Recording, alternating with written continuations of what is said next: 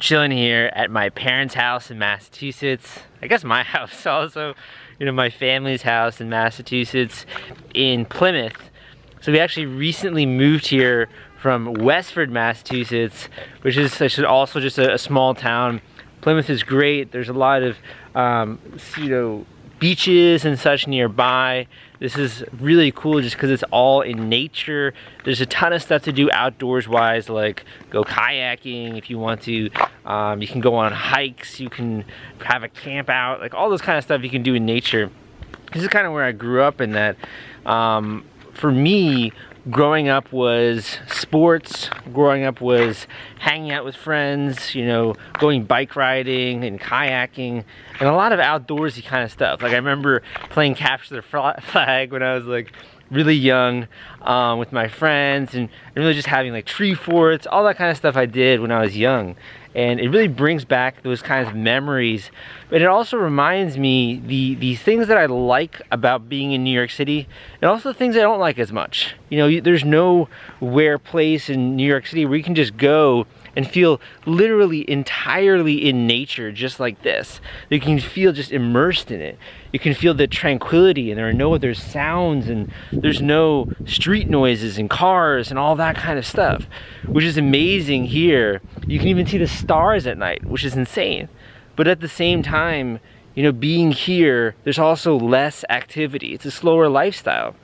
And that's something I realized that I wanted to get out of. You know, I wanted to be in the middle of action. I wanted to be in the center of the world. And that's why I actually moved to New York City. Why I went to, to college in DC was because I wanted to be in the center of the world. I wanted to have action. You know, I wanted to, being a young guy, I wanted to get out there and sort of stake my claim in the world. And I knew I could never, you know, be like my friends and just like stay in Westford or stay in Massachusetts for the rest of my life.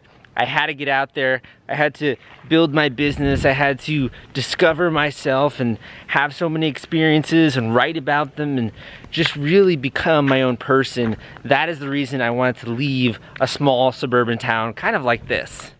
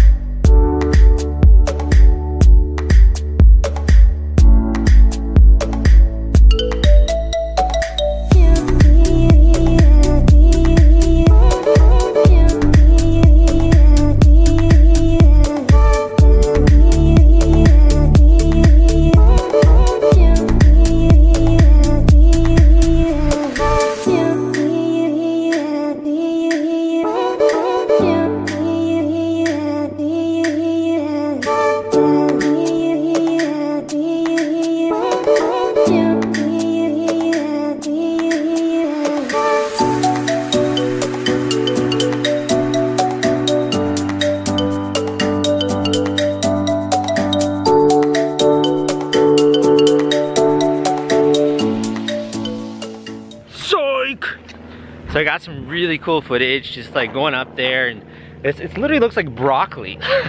All of the trees look like broccoli. And you can see a little bit of some of the, the houses and some of the water and you know some of the lakes and such. Um, I wanna get better at filming with the drone. So for example, if you can see behind me, there's this little path here what would happen if I actually filmed or did a follow me kind of thing? I don't know if I would get GPS signal, but um, what if I just flew it through that path and kind of did more of like a, a filmmaker kind of a vibe for the drone footage?